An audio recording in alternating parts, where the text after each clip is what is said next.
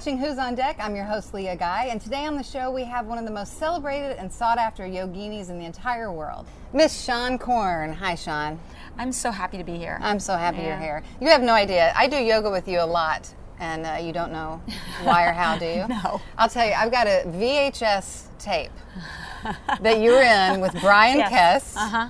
From Los Angeles. Do you remember? Don't you love the outfit? So, in case you don't know by now, Seane is a famous yoga instructor. How did you get started in yoga? You've been doing it, like you said, most of your life, I guess, by now, right? Well, not most of my life, but I was introduced to it when I was around 19 years old. But it wasn't until I moved to LA where it really got underneath my skin. Did you have your eyes set on doing something else with your life?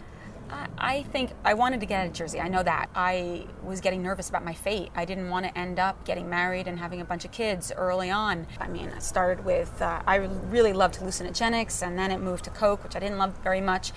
But heroin was heroin was the next step, and I'm so glad that I discovered yoga and that I got into therapy and that I just surrounded myself with a different uh, group of people. But you know, it's like I have a I I wouldn't trade anything. You've got a, a non. It a nonprofit? I guess Yeah. the off the mat, mm-hmm. off the mat and into the world. Off the mat into the world, yes. We raised uh, each year we raised about five hundred thousand dollars, and in Uganda we built an eco birthing center, um, a seven room schoolhouse.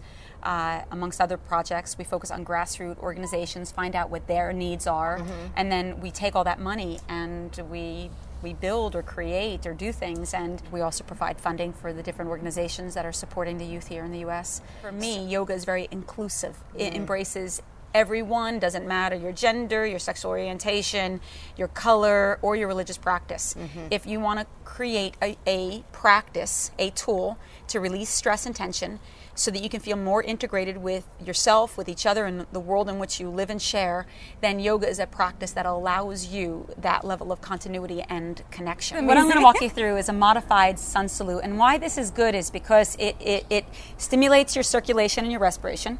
It gets the lymphatic fluid moving through your system. And this is really important because the lympha is responsible for drawing the toxins through your body. It helps you release it through your breath and sweat. And the only way to get lympha to move is through vigorous exercise and deep breathing. Place your palms into namaste. She says, mm-hmm. First thing you're going to do is take a really deep breath in, exhale it out. Good. Now inhale, bring both arms up over your head. This stretches the shoulders. And then exhale, fold. If your hamstrings are, are tight, just simply bend Yes. your knees, but get your hands to the floor. All the way to the floor. And just hold here for a moment. You're going to feel this is a great stretch in the back of the legs as well as the spine. Now keep your knees bent, but mm-hmm. inhale, look up and lengthen your spine. Hold. Both shoulders pull down the back so you can really feel the stretch along your back muscles. Take mm-hmm. another deep breath. Bend your knees again a little bit. Step your right leg back. And now you're going to push into both hands and you're going to step your left leg to meet the right. So you're in a push up position. Obviously, this is going to develop strength. You keep the lower belly in, this develops your core strength. And if you can, your tailbone pulls towards your heels. Good. Now take a deep breath in because she's not going to be able to hold this. Mm. and put your knees on the floor. Okay. Point your toes away. Take another deep breath. All you're going to do is bend your elbows and lower your whole body to the floor. Don't stick your butt up, just lay flat.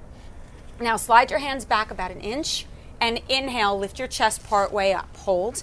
This is a nice back bend, but it opens the upper part of your back, not the lumbar. This part of your back can get very compromised, so you always want to protect it.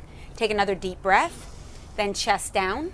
Curl your toes under, and you're going to press back into downward facing dog. Good. But I'm going to recommend though, stay on the balls of the feet and Okay. bend your knees a little. This releases the hamstrings and lets you get this great stretch in the shoulders and your back. It's also an inversion, so anything that's really at the base of your spine and your intestinal tract pushes forward towards the heart for the process of circulation. So it's very cleansing. Take a deep breath, and from here, you're going to walk your feet to your hands. Then inhale, hands stay on the floor. You look up and lengthen. Exhale, fold, stretching the hamstrings. Then inhale, come on up to stand. Arms reach, and palms right at the heart. Okay, so let's live open. Thank you, mm-hmm. Seane. You're very welcome.